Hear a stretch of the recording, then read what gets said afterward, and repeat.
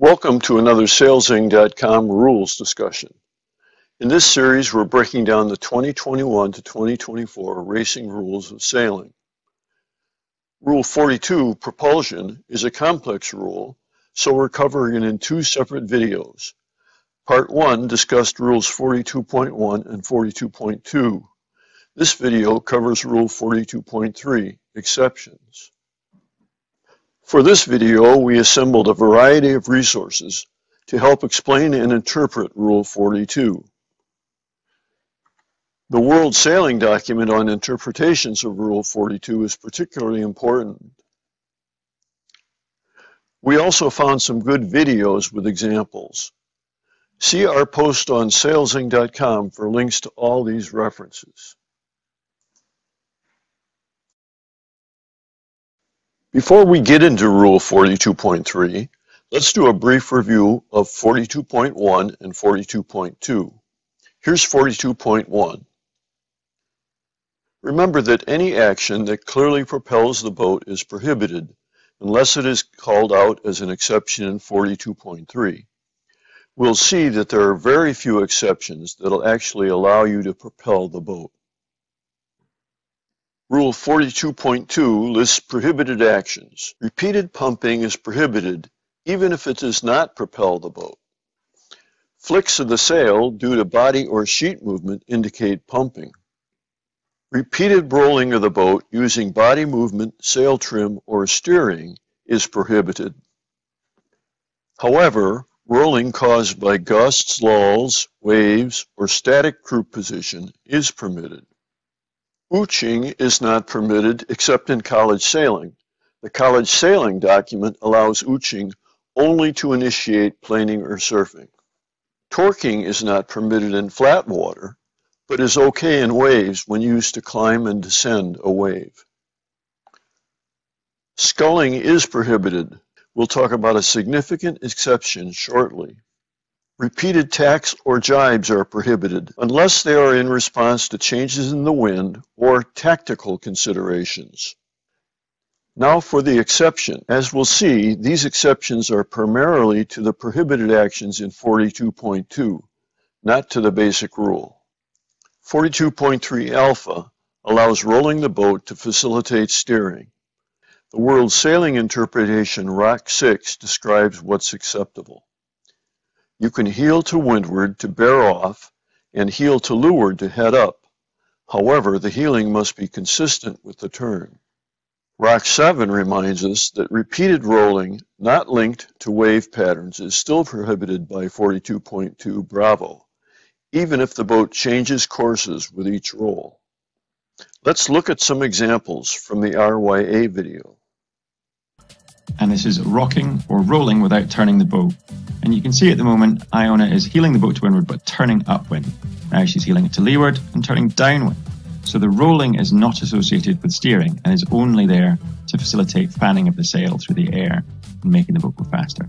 So this could well get her a penalty. You can see quite big movements of the sail.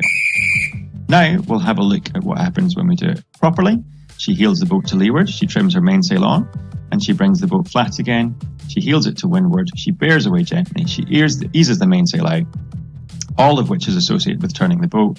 And again, nice and smooth. You can see a nice gentle turn, gentle roll, and it's all about steering the boat. All the time, the mainsail is adjusted. 42.3 Bravo allows exaggerated rolling to facilitate steering through a tack or jibe. Take a moment to read the rule. Note that the boat's speed just after the tack or jibe must not be greater than if you didn't tack or jibe. Here are the interpretations. Rock 8 simply restates the rule. Rock 9 allows you to roll the boat to windward of vertical at the completion of a tack or jibe. Basic 6 reminds us that after the tack is completed, Rolling the boat to propel it is prohibited. Basic 7 notes that if the boat speed clearly drops after the tack or jibe, this indicates that you have propelled the boat and thus violated the basic rule. Here's an example from the Finn class video. 42.3 allows to exaggerate the rolling through a tack or a jibe. However, tack ends when a boat is on a close-hauled course, and if a last rock is delayed, the exception does not apply anymore, and the rock, if it clearly propels the boat, breaks the basic rule 42.1. 42.3 Charlie addresses pumping to facilitate surfing, planing, or foiling downwind. Take a moment to read the rule.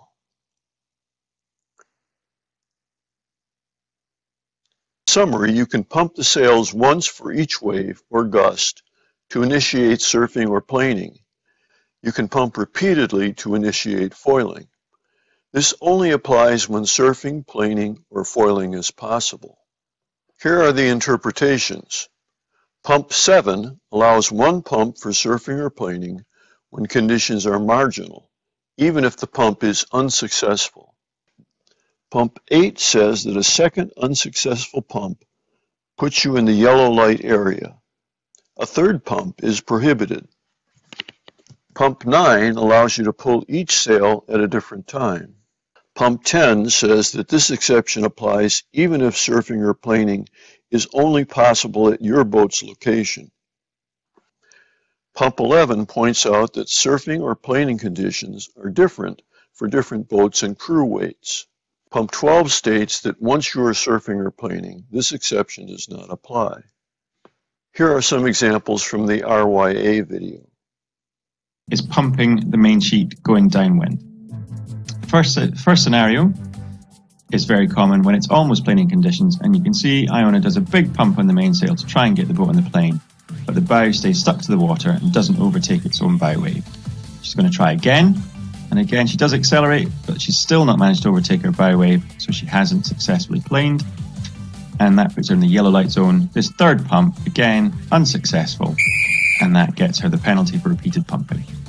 Now you can see she's actually planing downwind on a reach, but the rule says that you can only pump to promote or facilitate surfing or planing. So once she's already planing, she's not allowed to pump. And so she could get a penalty here for pumping whilst planing. 42.3 delta addresses sculling. Take a moment to read the rule.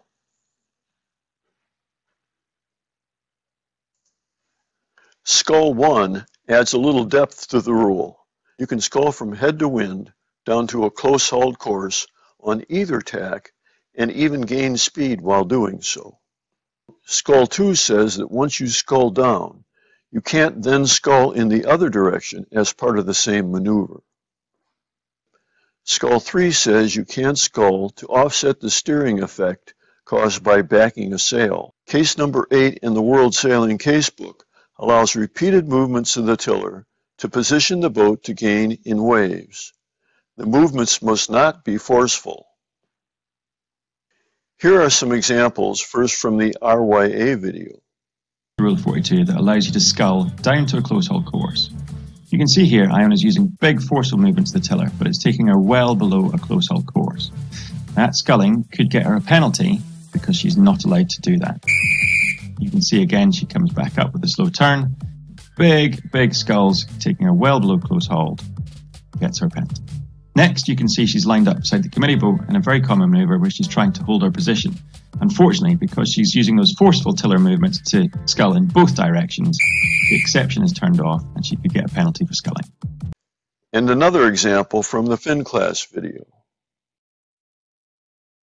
Sculling down while backing the sail is not turning the boat to a close-hauled course, but propelling it to windward, therefore it is not allowed. The situation doesn't change if you are backing the sail with your body instead of your hand. 42.3 finishes with some miscellaneous exceptions which are worth noting. Part Echo allows repeated pumping to correct an inverted batten as long as it doesn't propel the boat. Part Foxtrot allows you to reduce speed by repeatedly moving the helm. Part Golf allows any means of propulsion to help a vessel or person in danger. Part hotel allows you to use force to break free from a grounding or a collision. Engines are prohibited unless stated in the sailing instructions. Thanks for watching. Feel free to leave a comment. If you like our videos, please subscribe. Also visit our website at sailzing.com for much more content and some unique sailing products.